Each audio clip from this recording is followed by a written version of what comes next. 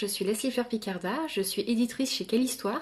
Donc quelques mots sur Quelle Histoire. Quelle Histoire, c'est une structure qui fait des livres pour vulgariser l'histoire, l'expliquer aux enfants à travers ses différentes collections. Donc on a des livres sur des grands personnages de l'histoire euh, comme euh, Martin Luther King ou Einstein. On a aussi des livres sur des thématiques comme le Moyen Âge, préhistoire ou bien, euh, je sais pas, la monarchie absolue ou les pyramides. Voilà, tout ce qui pourrait intéresser les enfants. Et quelle histoire était une petite structure il y a quelques années. Et aujourd'hui, on a beaucoup grossi et, on est devenu, je pense, un acteur phare du secteur documentaire historique pour les enfants.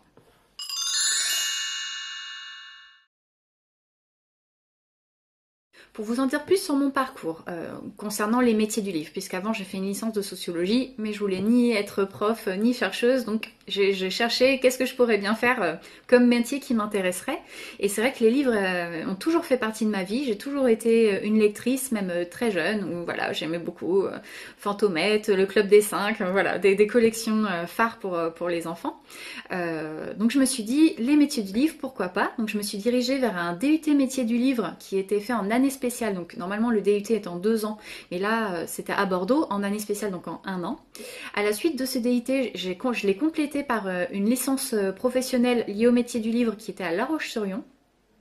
Et donc, euh, après cette euh, licence professionnelle, j'ai travaillé quelques temps. Donc, en fait, à la base, je me destinais plutôt à la librairie. J'ai été libraire pendant un an, un an et demi. Donc, euh, j'ai travaillé à Mola, qui est une des plus grandes librairies de France. Elle se trouve à Bordeaux. Là, c'était plutôt dans les rayons poche, enfin littérature de poche et sciences humaines. Donc voilà, j'ai pu découvrir les livres phares et les auteurs de, ces domaines-là. Et ensuite, j'ai travaillé dans un rayon jeunesse à la FNAC à Cergy.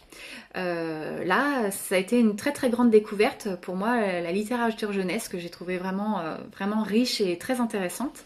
Et je me suis dit que j'aimerais vraiment bien euh, travailler plutôt pour la jeunesse, mais pas en tant que libraire, plutôt en tant qu'éditrice. voilà, j'ai préféré changer un peu d'orientation et de passer de l'autre côté de la barrière, plutôt du côté éditeur. Donc là, j'ai repris mes études et j'ai fait un master édition jeunesse à Clermont-Ferrand, donc en deux ans. Euh, pour valider cette dernière année de master, il fallait faire un, stage de six mois. J'ai postulé à Quelle Histoire et donc j'ai été prise en stage là-bas. Et ça a été vraiment une très très belle aventure qui s'est poursuivie ensuite puisque j'ai été engagée comme, euh, comme éditrice euh, chez Quelle Histoire. Et aujourd'hui, j'y suis toujours. Donc depuis 2016, donc ça fait 4 ans, 4 ans et demi aujourd'hui. Voilà.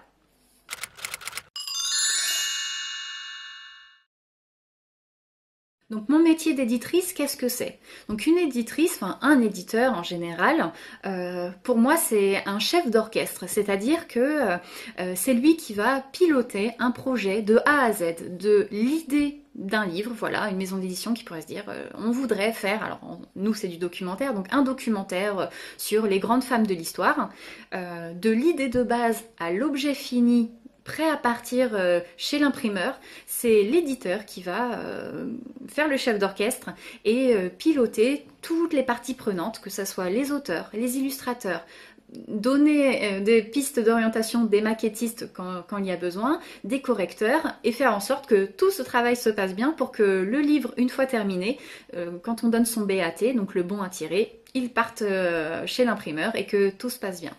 Donc, euh, dans le cas plus précisément, on peut dire euh, d'un livre, euh, donc on va tout d'abord penser le, concept, donc l'idée, par exemple là, donc cette, cette encyclopédie des, grandes femmes de l'histoire, on va travailler le chemin de fer, qui est une sorte de découpage, case après case, donc page après page euh, de ce qu'on va mettre à l'intérieur de ce livre, réfléchir à l'architecture. Donc là, dans cette encyclopédie, ça peut être quelle femme on va sélectionner pour apparaître dans notre encyclopédie. Et ensuite, on va peut-être travailler main dans la main avec le graphiste pour donner des pistes de comment va s'articuler le livre, est-ce qu'il serait bien de mettre un grand portrait, des illustrations, quel est le calibrage de texte dont on a besoin. Donc quand les grandes lignes sont posées, euh, on va ensuite contacter les auteurs. Alors à quelle histoire on a la chance d'avoir un pool d'auteurs? C'est pas comme par exemple dans la littérature générale où des, auteurs, donc des écrivains vont envoyer leurs manuscrits, leurs romans à des maisons d'édition qui vont ensuite lire avec des comités de lecture. Nous c'est différent. On a un pool d'auteurs qui est de 4-5 auteurs qui sont spécialisés en histoire. Donc euh, il y a Patricia Crété qui est l'ancienne directrice en chef de la revue Historia, euh, qui est un peu l'auteur historique de Quelle Histoire. Il y a ensuite d'autres auteurs qui se sont euh, ajoutés à notre équipe. Donc il y a Clémentine Baron qui elle est journaliste spécialisée en histoire également. Il y a Julie Goisé, il y a maintenant plein d'autres auteurs qui, nous ont rejoints. Et euh, donc voilà, nous, on, les contacte euh, pour le planning de l'année, puisqu'on sait déjà quel nombre de sorties on va, faire euh, pour toute l'année, pour une année donnée et on répartit euh, les, ouvrages euh, selon nos auteurs. Donc quand par exemple notre encyclopédie toujours des, grandes femmes était avec euh, tel auteur, eh bien voilà, on va contacter cet auteur-là, on va lui donner, on va, lui parler du projet, on va lui donner le calibrage, c'est-à-dire ben voilà, pour telle grande femme qu'on va aborder dans ce livre, on aimerait tant de mots et on aimerait orienter de telle façon que ce soit des mini-biographies avec une petite phrase d'accroche. Voilà, en fait le rôle de l'éditeur c'est de driver l'auteur pour, euh, pour qu'il euh, réponde le plus possible aux, besoins du livre. Alors bien sûr, l'auteur, lui, va faire ses recherches, va euh, sélectionner les informations qu'il pense le plus pertinentes sur le sujet donné, mais le rôle de l'éditeur, c'est de, de lui donner la bonne direction et de le driver. Donc quand l'auteur après a fourni son texte, bien sûr le rôle de l'éditeur c'est de le relire, de, venir l'améliorer s'il y a des choses qui ne sont pas compréhensibles. Ça c'est le rôle de l'éditeur, notamment dans le rôle documentaire pour la jeunesse. Parce qu'après, à mon avis, l'éditeur a un autre travail plus spécialisé pour les romans s'il travaillait pour une maison d'édition de romans. Mais en tout cas, moi pour le documentaire, c'est voilà, c'est comme il y a un enjeu pédagogique pour les enfants, le rôle de l'éditeur c'est travailler main dans la main avec les auteurs pour corriger le texte, vulgariser euh, que ça soit bien compréhensible pour la tranche d'âge à laquelle le livre va s'adresser. Donc ça, il y a tout un travail aussi sur le texte. Euh, autre travail très important de l'éditeur est aussi d'accompagner de, les illustrateurs, puisque les illustrateurs, euh, en tout cas à Quelle Histoire, on a la chance d'avoir un studio d'illustrateurs. Euh, donc on a 4-5 illustrateurs qui travaillent avec nous dans nos locaux et qui sont la patte de Quelle Histoire. Donc je sais pas, admettons que si vous connaissez pas Quelle Histoire, c'est une sorte de petits personnages comme ça, ou donc la fameuse encyclopédie des 100 femmes. Voilà, c'est un style graphique très particulier, ou d'un livre à l'autre, euh, toujours le même style graphique. Et donc le rôle de l'éditeur est de fournir des références iconographiques justes, historiquement justes, pour euh, dire aux illustrateurs ce qui serait bien d'illustrer pour accompagner le texte, puisque texte et images euh, dans nos livres illustrés pour les enfants doivent se répondre et doivent apporter des informations. Donc ça, c'était donc le deuxième travail de, l'éditeur, accompagner les illustrateurs. Et enfin, bah, quand le texte fourni et aussi les illustrations sont fournies et que tout est bien, eh bien, euh, tout est fourni au maquettiste qui va donc euh, donner vie au livre, le mettre en page. Eh bien, l'éditeur peut euh, jeter un petit coup d'œil pour voir si les textes et les illustrations placées sur la page se répondent et favorisent l'apprentissage de l'enfant. Enfin, la dernière tâche est euh, de, faire le rôle de transmission avec les correcteurs pour euh, bien sûr euh, qu'il y ait le moins de fautes d'orthographe possible et, donc que le livre soit prêt à être envoyé chez l'imprimeur. Donc vous voyez, c'est tout un tas de tâches que vous voyez certainement en cours, vous les étudiants encore en métier du livre, mais voilà, va falloir s'attendre à faire plusieurs travails de chef d'orchestre et de coordination pour que la création d'un livre passe bien.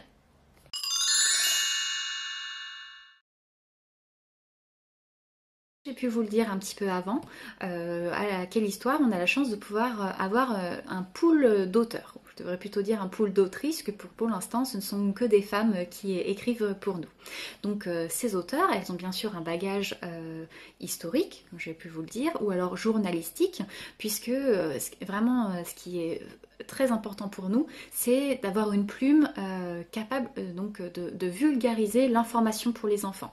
Voilà, nous c'est pas tellement de faire euh, de la grande littérature ou des belles phrases, bien sûr, il faut, il faut des belles phrases, mais il faut surtout qu'elles soient compréhensibles puisque nous on essaie de transmettre de l'information aux enfants. Donc ça, c'est pour la plume.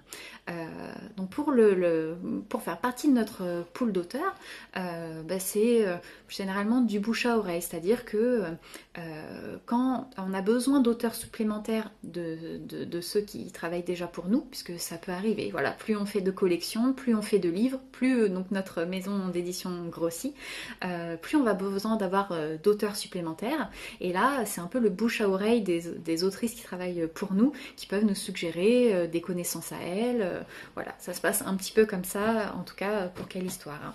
Euh, et donc là, on fait faire un test aux auteurs, on voit si la manière dont, elles, dont ils ou elles écrivent peut correspondre à au style quelle histoire, car c'est vraiment quelque chose, en tout cas pour, pour la maison d'édition où je travaille, qui est très, très important, c'est en fait on, accorde, alors je veux pas que mes mots soient mal interprétés, mais peu d'importance à l'auteur pour, pour sa plume propre. Ce que je veux dire, c'est qu'en en fait, on, essaie de valoriser le ton quelle histoire. C'est-à-dire que peu importe l'auteur qui va écrire nos ouvrages, euh, il faut qu'elle respecte le ton donné par la maison d'édition.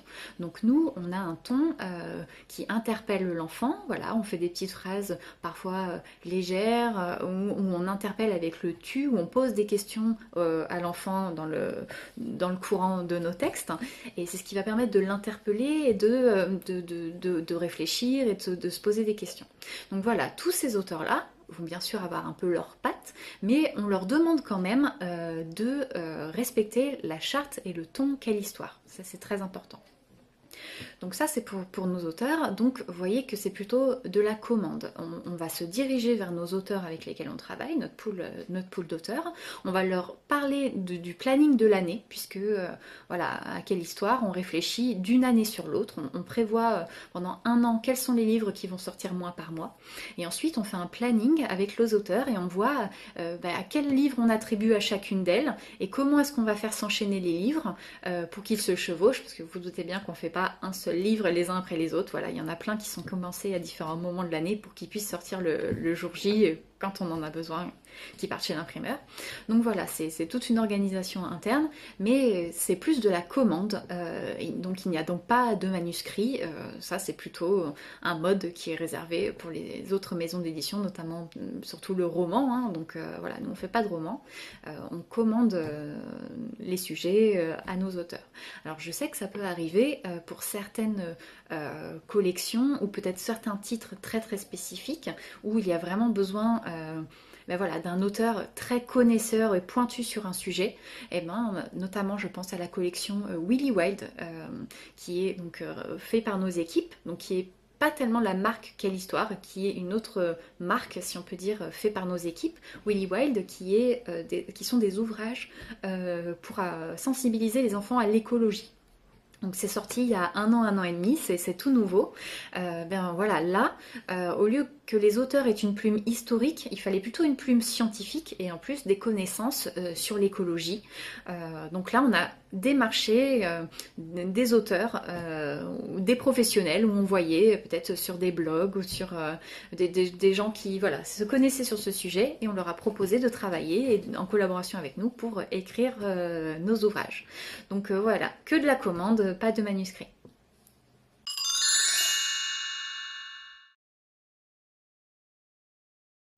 Alors il y a quelques temps, euh, Quelle Histoire s'est associé à Macmillan pour euh, traduire ses ouvrages, alors quelques-uns de ses ouvrages euh, en anglais? Euh, donc en anglais, je serais plutôt envie de dire euh, pour le public américain, puisque euh, Macmillan est une maison d'édition américaine, et donc nos livres, enfin quelques-uns de nos livres, ceux qui seraient susceptibles d'intéresser le marché américain, ont été traduits et publiés par Macmillan. Donc là, comment ça se passe? Alors pour être tout à fait honnête, ce n'est pas mon équipe d'éditeurs qui s'occupe de, ni de la traduction, ni de cession de droits, de choses comme ça, donc je suis très peu calée sur le sujet. Tout ce que je peux vous dire, c'est que voilà, on est en contact maintenant avec Macmillan pour euh, tous les ans euh, regarder. Euh, bah, ce qu'on a publié et qu'est-ce qui serait possible, en tout cas susceptible de les intéresser, pour les publier également chez eux. Donc pour l'instant, vous, doutez bien que ce sont les grands personnages, soit américains, donc, donc il y avait Martin Luther King, il y a Lincoln, il y a, je crois, Billy the Kid, voilà, qui sont des personnages typiquement de l'histoire américaine. mais sinon, il y a des grands personnages historiques comme Cléopâtre, Jules César, des choses qui, peuvent, dans tous les cas, intéresser même les enfants américains, euh, qui sont traduits chez eux. Donc, euh, moi, je vous avoue que j'ai pas participé à ça. Alors, pour vous dire un petit peu pour le process, euh, on a travaillé, bien évidemment, avec des traducteurs pour qu'ils respectent aussi le ton du livre donc ce ton un peu euh, qui, interpelle l'enfant. Gardez aussi le calibrage, euh, puisque nos livres ont un certain nombre de mots, donc de signes euh, sur, chaque page, pour pas que ça soit trop rude à lire pour les enfants, parce que c'est quand même pour une certaine tranche d'âge. Et, je crois, pour pas dire de bêtises, que donc nos illustrations, par contre, ne sont pas modifiables, donc il n'y a, que le texte qui peut être traduit, et on donne le droit d'utiliser euh, nos illustrations, euh, donc faites par notre pool d'illustrateurs, comme je vous disais, qui, sont dans nos studios. Euh, voilà, on leur donne le droit d'exploiter pour un certain nombre de livres et pour ce titre-là, les illustrations. Et ensuite, le, livre fait sa vie sur le marché américain. Alors ça, c'est pour le marché américain je, ne sais pas si euh, il y a d'autres projets pour l'instant euh, sur euh, d'autres marchés étrangers, peut-être.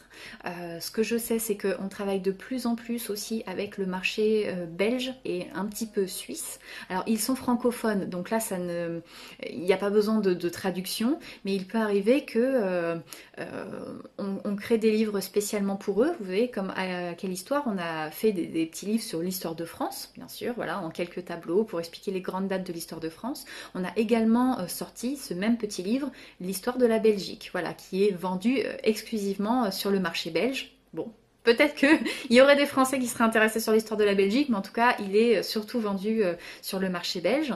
et ça peut arriver qu'on modifie légèrement nos livres donc français, puisqu'à l'intérieur, on peut donner, par exemple, euh, un livre sur la préhistoire, euh, où on s'intéresse vraiment à la préhistoire en France, il peut arriver qu'on modifie quelques petites... Euh, de, si un fossile a été trouvé en France, ben, on va essayer de trouver un équivalent en Belgique, et du coup on sort une deuxième version un peu plus spécialisée pour le public belge. Voilà, ça c'est des pistes de réflexion qui sont encore totalement appliqué, mais voilà, on réfléchit également pour le marché belge et peut-être le marché suisse. Mais euh, donc c'est que des livres francophones ou traduits en anglais pour les Américains, euh, mais euh, pas d'autres pistes de traduction pour l'instant.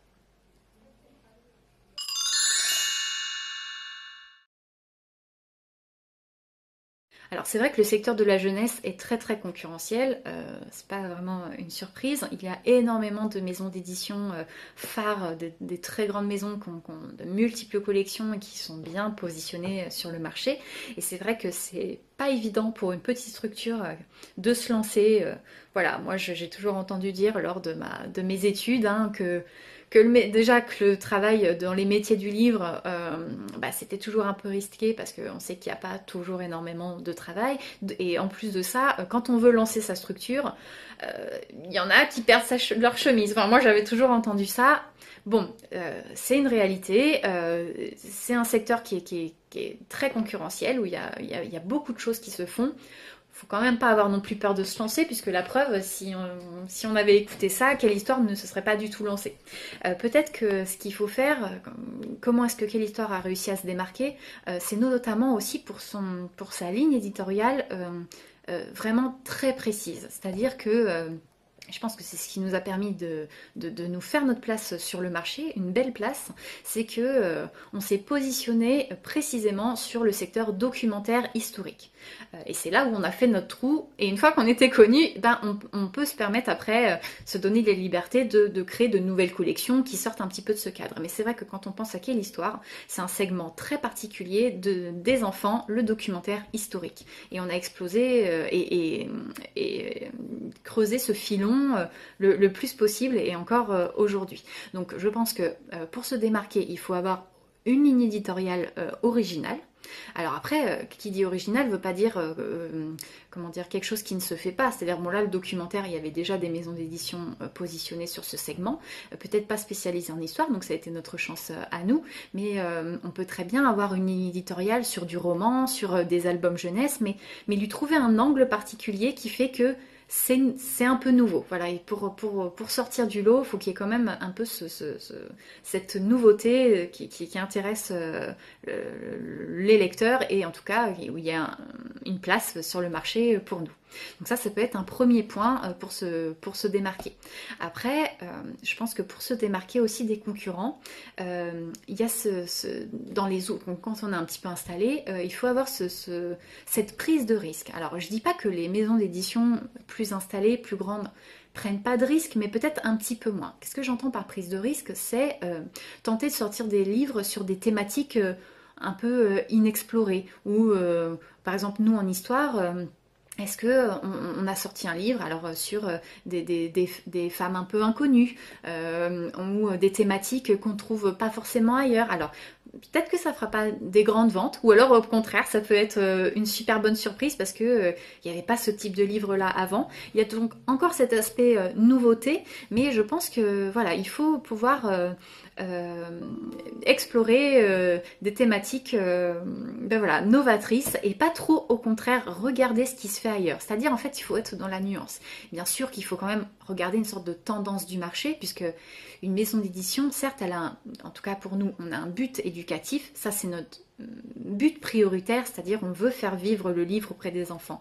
On veut euh, sensibiliser les enfants à l'histoire. Ça, c'est vraiment notre but phare. Mais il ne faut pas oublier, oublier qu'on est quand même une entreprise et que pour survivre, pour garder nos emplois, pour continuer à faire ce qu'on a envie de faire, donc conserver euh, notre but premier qui est d'informer et d'éduquer les enfants, euh, ça reste quand même de vendre. Il faut vendre des livres. Il y a un aspect commercial.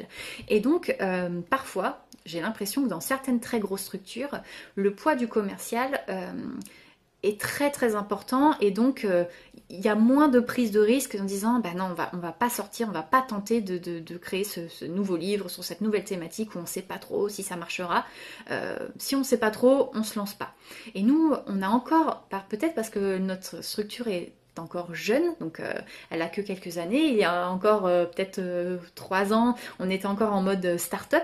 peut-être qu'on a conservé encore cet esprit-là et que, eh ben, on se donne cette liberté d'être très novateur et de, comme des, des têtes brûlées, on se, on se, eh ben, on se lance si on a une idée, parce que ça nous arrive nous en interne de faire des brainstorming tous ensemble et de se dire, ben, qu'est-ce que, qu'est-ce que, qui serait sympa pour les enfants de sortir. Donc voilà, on a, on est dans cette nuance de regarder un petit peu le marché pour voir bien sûr euh, ce qui fonctionne qu'est-ce qu'on pense qui pourrait se vendre pour continuer à, faire vivre notre maison d'édition, voilà, pour, euh, avoir un chiffre d'affaires et pour euh, continuer d'exister. Mais on a cette marge de manœuvre qui permet de se dire, ce livre-là, on sait, ça n'a pas été fait, on ne sait pas si ça va intéresser les enfants, c'est peut-être des fois des coups de poker, mais on a cette liberté-là euh, de se lancer. Et peut-être que c'est euh, ça qui nous permet d'être de, singulier sur le marché et euh, c'est le coup de poker, c'est le coup de chance, mais on y va et on se démarque comme ça.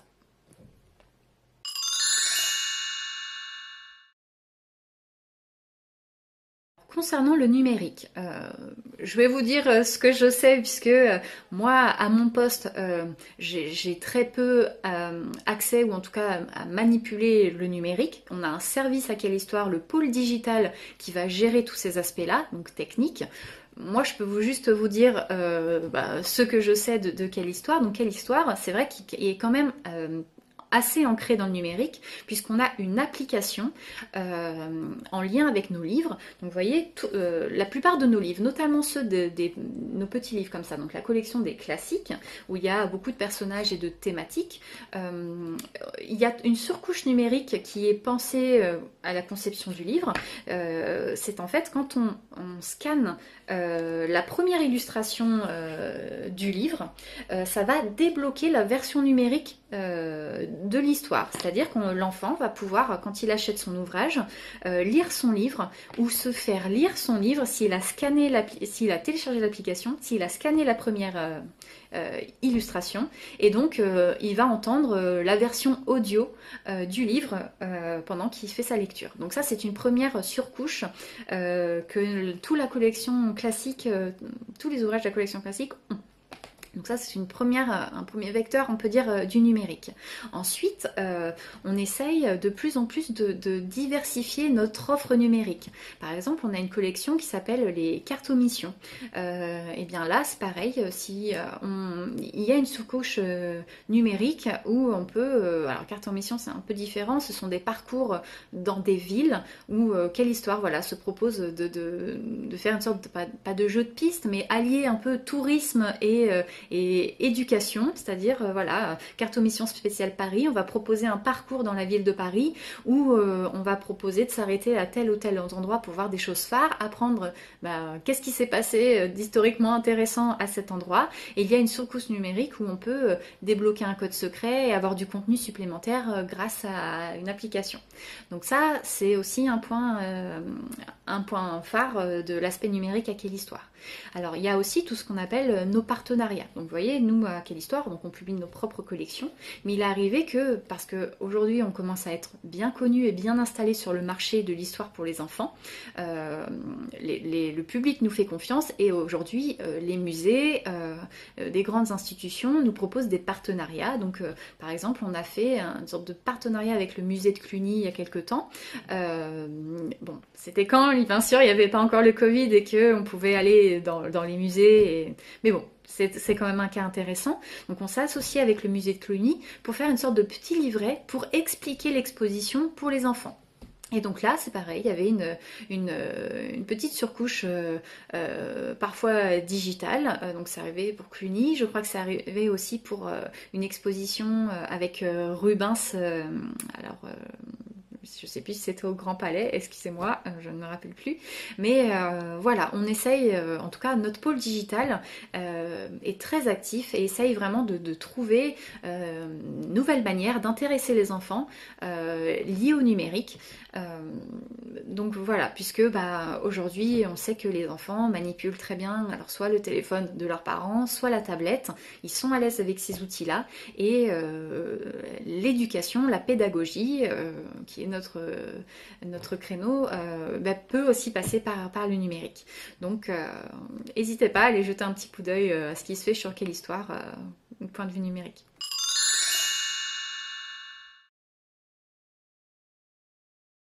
Donc mes conseils euh, pour ceux qui voudraient se lancer dans l'édition. Euh, honnêtement, je pense que l'édition, c'est une histoire euh, de cœur. C'est-à-dire qu'on doit le sentir. Et je pense que si vous êtes là, dans cette filière-là, c'est parce que vous sentez que vous avez un attrait pour la littérature, alors quelque forme que ce soit, que ce soit pour la jeunesse, pour les adultes ou les adolescents, que ce soit pour le documentaire ou alors pour les romans, pour, pour les essais. Voilà, il y, a, de multiples formes de littérature.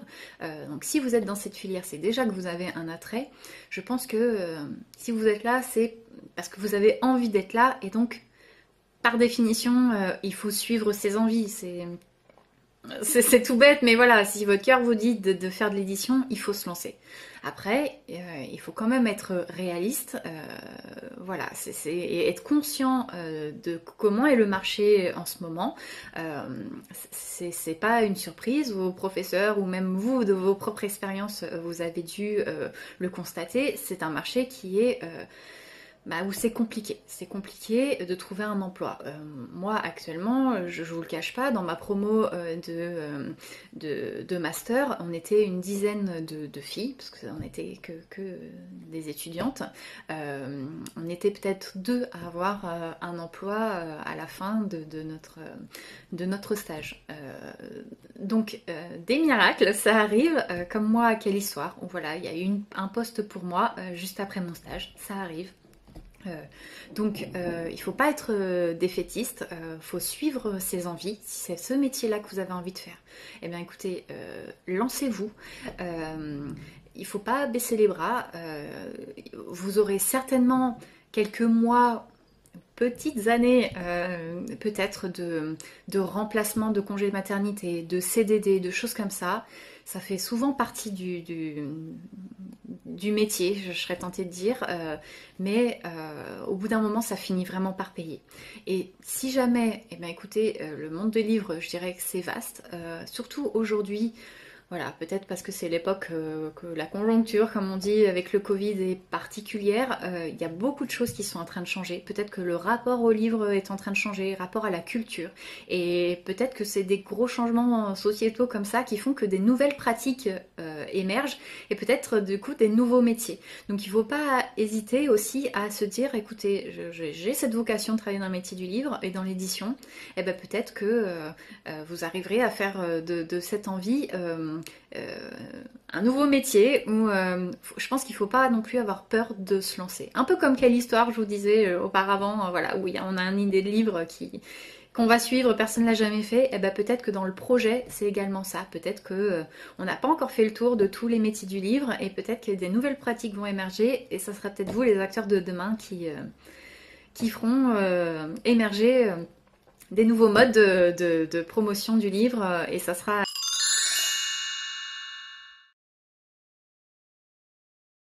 comme j'ai pu le dire un petit peu avant, c'est vrai que moi, les livres, c'est vraiment depuis que je suis très jeune, euh, que je suis une grande lectrice. Euh, voilà, dès que j'ai su euh, déchiffrer les lettres, j'ai euh, commencé euh, à lire. Donc il y avait surtout la bibliothèque rose. pour moi, les fantomètres de Georges Chollet, c'était vraiment, je les collectionnais hein, d'ailleurs. J'allais en acheter régulièrement.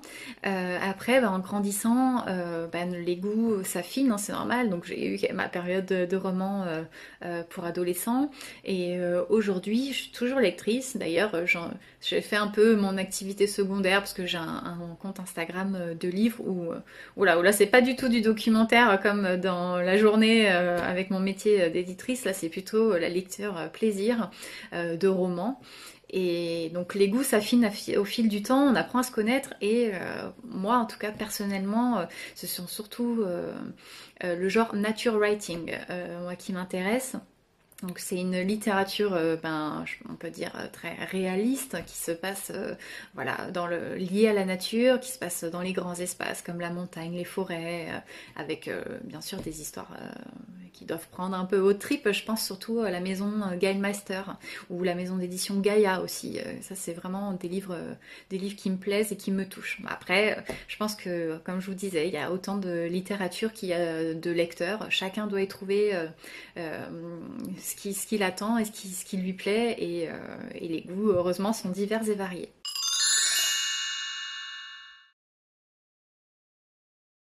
Donc je sais que votre salon littéraire euh, s'est tourné vers euh, le thème de l'imaginaire. donc qu'est-ce que c'est que l'imaginaire?